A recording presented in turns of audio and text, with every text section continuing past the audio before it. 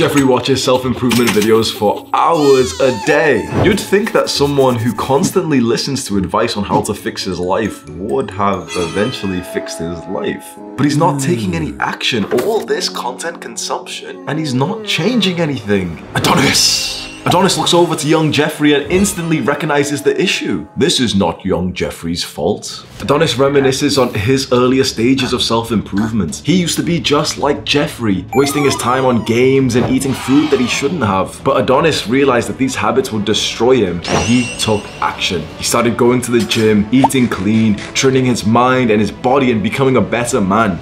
I honestly think that you're in the worst position to be in because before you heard about self-improvement and you were watching videos like this, you had this level of ignorance with your bad habits, didn't you? You kind of knew that they were bad, but you didn't really think about them day to day. You were just like your friends who just go and play video games and don't really think about the consequences. But then you became aware of how negative that would be for the long term if you kept up those bad habits of playing video games, watching porn, junk food, Netflix, all this like stuff that you know is just kind of pleasure pleasurable and fun right now, but it makes your life worse in the long run, especially if you get addicted to those things. Previously, you didn't really realize how bad these things were so you could enjoy them. Now you're probably finding that you still do some of these bad habits, but you can't even enjoy them fully because that thought is always in your mind of the consequences of your actions, isn't it? And this, honestly, this messed me up. When I think about this period of my life that I'm about to tell you, like I can't even help to begin to almost feel like tears in my eyes when I think about the period of my life of like early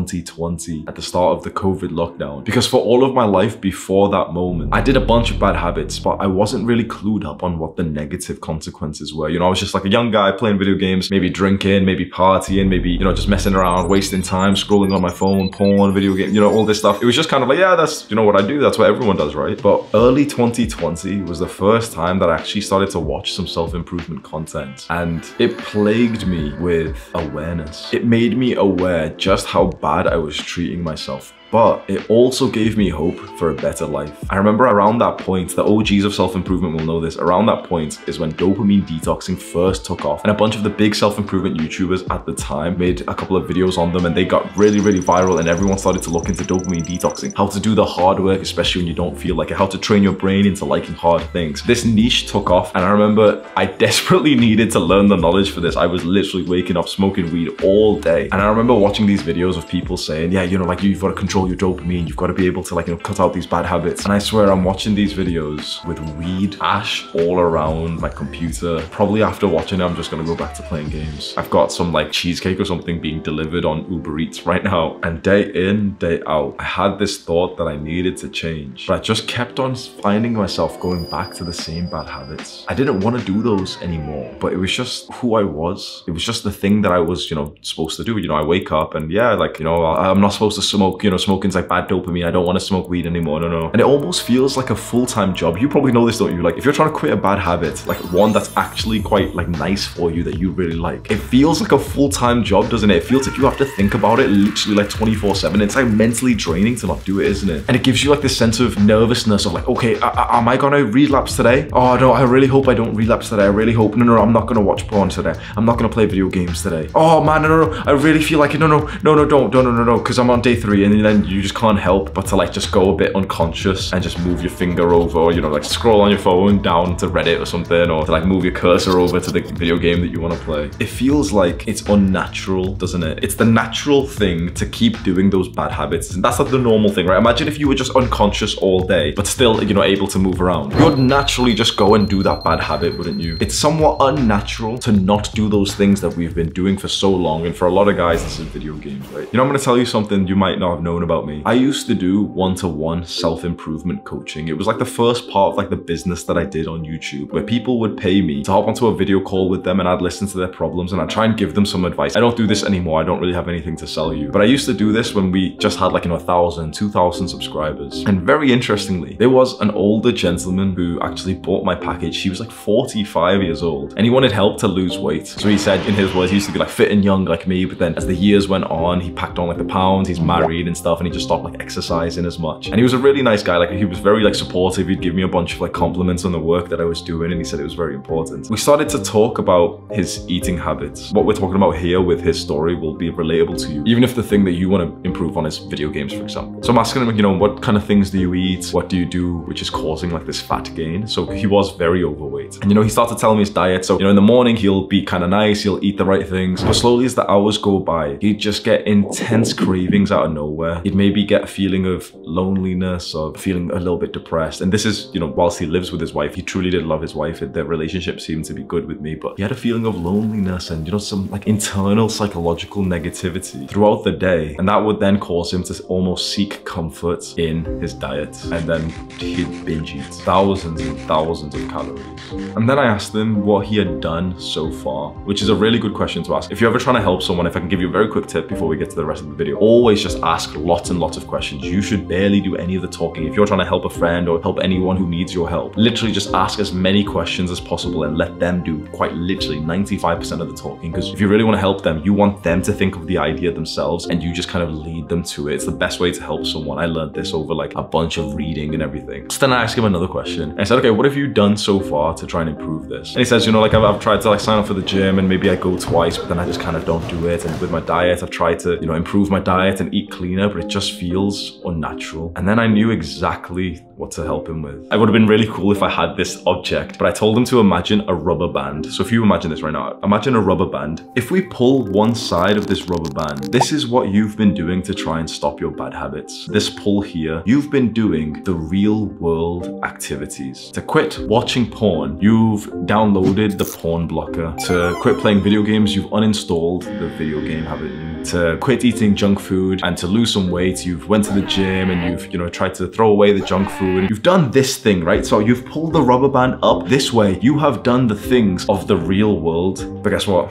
Eventually, the rubber band snaps and goes back to its starting point. You can't hold this tension forever. This is tension. This is unnatural. This is what we've been doing all this time. It feels unnatural. It feels like we have to pull it this way and there's always tension to snap back to this starting point. Another analogy I gave to this same gentleman was that he was swimming upstream. So, you know, like in a river or whatever, like he's going upstream and it's harder because the water's hitting his face and pushing him back upstream, upstream. And yeah, you can make some progress, but eventually you get tired and you're gonna go back down to the natural flow of the stream. So I said to him, we need to flip this around. We need to change the direction of the stream entirely. We need to not move this side of the rubber band, the, the real world activities that we focused on all this time, those website blockers, this idea of, yeah, I'm just not gonna buy the junk food today. We don't need to move this because we've tried this so many times. Bro, how many times, we don't have studies for this, but you know that this is true, right? Haven't most people wanted to like lose weight? Haven't most people wanted to go on like a fat loss journey, especially in the new years? And haven't most people wanted to get fit and go to the gym? And every, most of them, 90% of people literally never make significant progress in their fitness journey. They go right back to this starting point. That stream pushing them all the way back. So the answer is clear when it's explained like this. We need to change, not this side of the rubber band, but this, this starting point. We don't need to tell someone, here's how to swim upstream even faster because that can be nice and they can make a little bit more progress, but eventually the stream will push them back down. We need to move the entire stream and change its direction.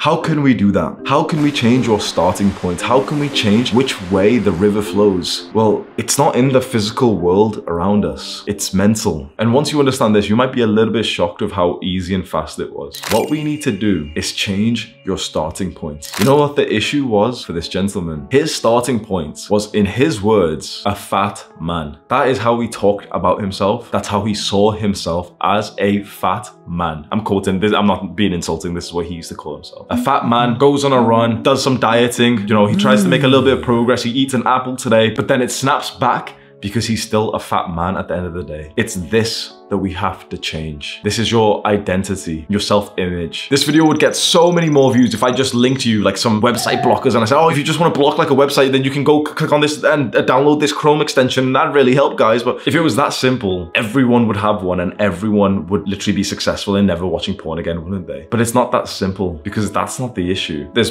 tons of people out there who don't have porn blockers or, you know, website video game blockers or anything installed in their computers and they never watch that stuff anyway. There's a lot of people out there who go into a supermarket, walk past the snack aisle and it does nothing to them. I'm one of those people now. And I don't say that to, like, you know what? I do kind of say that to boast. It's one of like my greatest achievements has been able to control my diet. And I'm finally one of like the people, like I could have my favorite snack in front of me and it doesn't really do anything for me. If I've planned it into my diet and it's, you know, it's like a nice little break because I've been really good on my diet recently and it's a piece of chocolate or cake or something, okay, fair enough. You know, it's in MyFitnessPal, fair enough. I've become one of those people and I can't even tell you how proud I am for myself. The reason why I think I was able to help this guy is because even though I was a lot younger, certainly I'm not, you know, some professional, I'm really not, okay? I had my own real life journey with binge eating. And binge eating, a lot of people don't really know. It's not simply that you just ate, you know, a lot. Oh yeah, just I ate so much cake yesterday. No, no. Binge eating is almost like a psychological disorder of how you eat. And it's that you eat for comfort. Eating can be comfortable for most people, but when you specifically eat for comfort and you've experienced a lot of childhood trauma, childhood abuse like I did, suddenly eating becomes a crutch and you start to eat around the day because it gives you this weird feeling. This can get a little bit deep and you know, it's not so much about this video, but if you do want to know something about me, like I used to have this kind of eating disorder where eating would give me a feeling of physical safety away from the abuse that I was experiencing at home. Another guy that I coached told me once once, he was very overweight as well, and he told me once that he eats till he literally feels sick. He feels so physically disgusting that it feels like he's safer from anyone's attention. And that's kind of how I would have related to it. I would eat so much till the point my stomach really hurts. And then I just keep taking small bites and just keep taking more and more and more.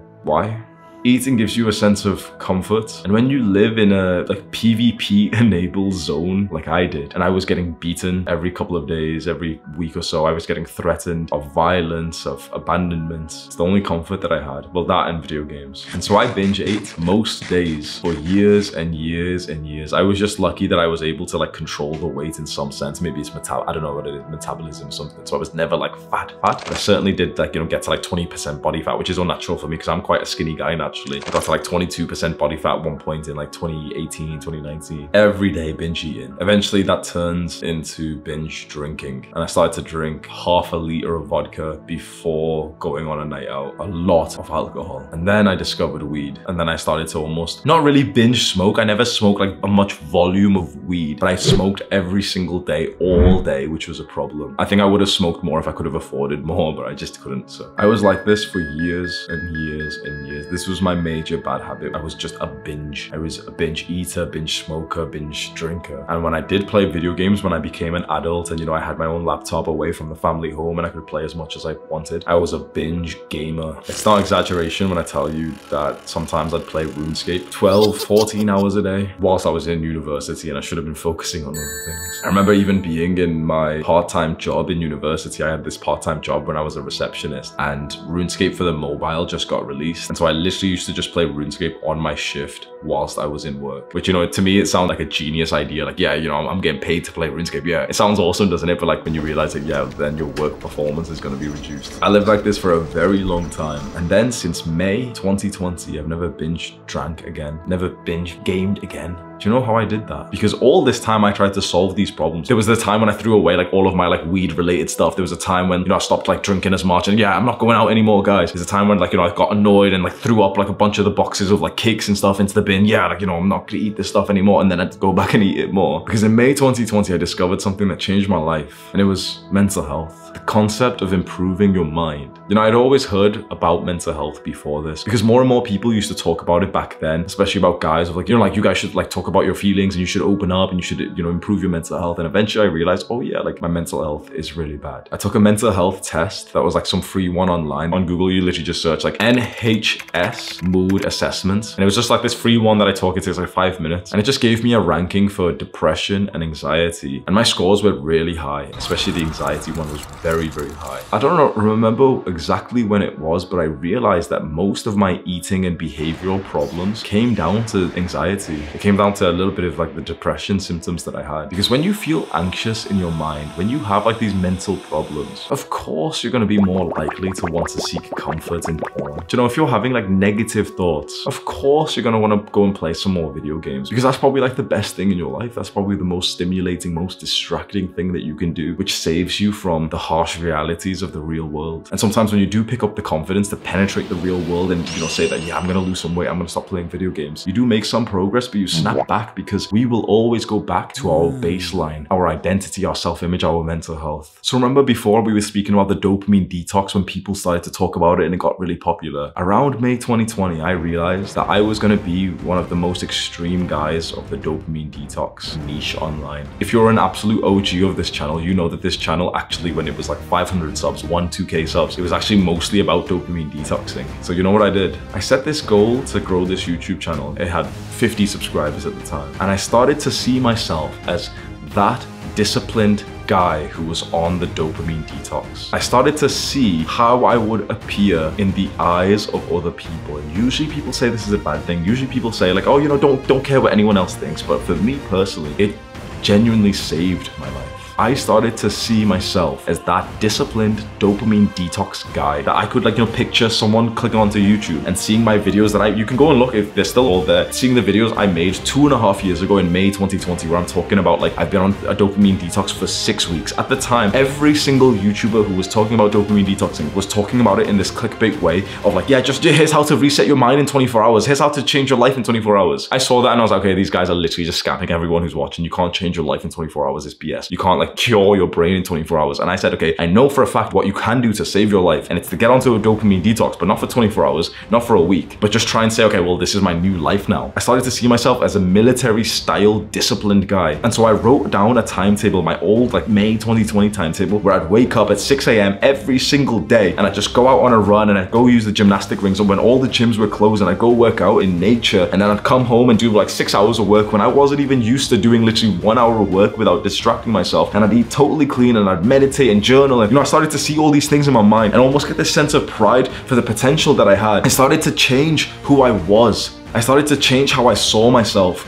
I was no longer this stoner pothead. I was no longer this guy who drinks half a liter of vodka on a night out trying to sleep with a 5 out of 10 girl who's also semi-drunk so that we can both like have like 10 minutes of like pleasure together. I started to see myself as a military style disciplined guy on a dopamine detox that other people were beginning to notice like man this guy's actually been around and he's been putting in the work. It's not that I did those things and then I started to you know feel like I was that person. I started to see myself as that person first and then I started to do those things. Do you understand? I didn't move the rubber band this way. I moved it this way. It was my identity, my self-image, how I saw myself that changed everything for me. Like I said before, this video would be so much more enjoyable and just easier for you to watch and it'd get way more views if I just told you, yeah, you know, install these website blockers and you're all done. Here you go, top five ways to cure bad. This isn't like a clickbait thing that I'm talking about. It, it kind of messes with your mind to understand. That's why I'm trying to really explain how this works. You must change your identity. So right here, right now, I want you to ask yourself a question in your mind. You can just close your eyes and let this video play for a second. How do I see myself? What kind of person am I? Say that question in your mind right now. What kind of person am I? How do I see myself? Who am I? And don't big this up. You know, you've just watched me kind of like rant with a bit of confidence. Don't say, yeah, yeah, yeah I'm, I'm a really sick guy. Genuinely, genuinely, think about your habits, especially the bad ones. Think about them. Think about what you want to improve on. And then truly see like a summary of who you are in your mind a realistic summary. Chances are, if you are watching videos like this, this identity of yourself that you're thinking of right now, this summary that you've just built up, this, you know, like flashes of your habits that you've just built up, chances are it's gonna be kind of negative. Do you know, if you're, you were an amazing, positive guy, then, you know, you probably wouldn't need to watch a video about how to cure bad habits, would you? So it's probably gonna be kind of a negative perception of yourself. You might see yourself as somewhat of a loser, certainly not a winner. You might see yourself as the kind of guy who's been struggling to get girls, who feels a little bit lonely, the kind of guy who's maybe a little bit addicted to video games and junk food and you know all these things. You know what's interesting? We've never considered this and it seems crazy to think this and hopefully you can just understand what I'm about to say. You may be addicted to video games, not because you know you've been playing them for so long so now you're just built up an addiction of them, but maybe because you see yourself as a gamer. Does that make sense? It may not have been our actions that actually caused us to get here. It may actually have been our identity, our self-image that caused us to get here. There's a slight difference. Most people think that all you need to do is just take action, don't they? That, yep, just take action, just take action. But a guy who sees himself as a fat man who takes action, okay, he'll take action for a week and he'll lose one pound of fat, but he was 270 pounds before. He's 269 pounds. He doesn't look any different. He doesn't even feel any different. He still sees himself as a fat man. And so what is a guy who genuinely believes that he is a fat man going to eventually do, which aligns with his personality and his perception of himself? Well, he's gonna go reach for that junk food within a week, isn't he? He's not gonna be able to stay onto the good habits he's doing. But what if this same guy who considers himself to be a fat man closed his eyes every single day for five minutes and started to see his body transform and his athleticism improve to the point that he no longer saw himself as a fat man, but rather an athlete? And what if this same guy started to say to himself, even at 270 pounds, even at 30% body fat, he started to say in his mind, I am an athlete. I am an athlete. I am an athlete. What if he started to surround himself with athletes? What if he started to consume the content of athletes and be like, yep, I'm just like this guy. So this athlete, he wakes up and he has a protein shake every day. Okay, I'm gonna wake up and have a protein shake every day because that's what athletes do. I'm an athlete now, so athletes have protein. Okay, so what if he started to do the identity shift first in almost like a delusionary way, in almost like, you know, a silly way? He's 270 pounds, he's fat. He genuinely, objectively is fat. But if he started to just see himself as an athlete, he would probably make more progress than he's ever done before. And what about you?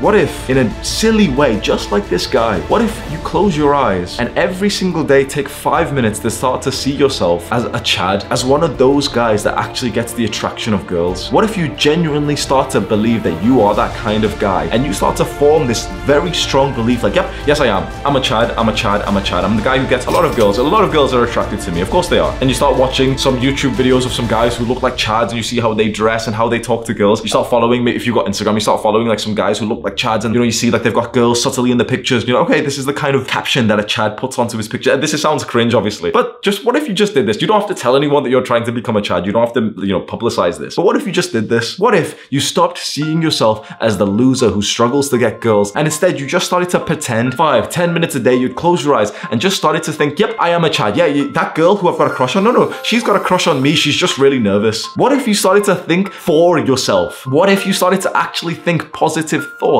because I can tell you from experience, that's one of the strongest things you can ever do in your life. You know what I just said specifically? Like imagine that girl that you've got a crush on. Destroy this thought in your mind that, yeah, I've got a crush on her and she's, no, no, no. Change that thought to, yeah, she has a crush on me, but she's just nervous. And I promise you right now, that's one of the best pieces of dating advice you'll ever get in your entire life. If you plant that thought in your mind, no matter how silly it is, even if you're unattractive, you are slightly more likely to attract her because you have the right belief set. Now, you probably have a lot of work to do. This isn't to say, you know, oh yeah, just, you know, think that you're a six foot seven muscular guy and it's suddenly gonna work. Of course not. But your beliefs, your identity, your self-image leads to the consistent long-term action that causes you to be there. I, at age 17, 18, 19, saw myself as a leader. I started to see myself as like a guy who had elevated his status in the social hierarchy. And so I started to put the work in for that. And you know, it wasn't amazing, but it started to come true. Age 19, when I first started to actually date girls, I started to see myself as like one of these chads that has multiple girls for him. And then I started to act like it. And I started to go to the gym and become a little bit more attractive and take better pictures for Tinder and Instagram. And it started to become true. I didn't suddenly just become like a 10 out of 10. You know, my eyelid shape didn't change so I had like hunter eyes or anything. No, none of that changed. Interestingly, the results that I had in life started to change because I started to believe I was that guy. There's a mystery to all this. And this line of thinking for me has come from the book Psycho Cybernetics by Maxwell Maltz. I've done a video of it on my channel, which you can go and find if you click on this link right now. I think it's one of the most important books that you may ever read. You've been pulling this side of the rubber band for so long, and you know so many other people who just keep pulling, keep pulling, keep pulling, and then snap back to normal. Okay, let's try again. You know, another kind of diet. Maybe keto or carnivore will work for me.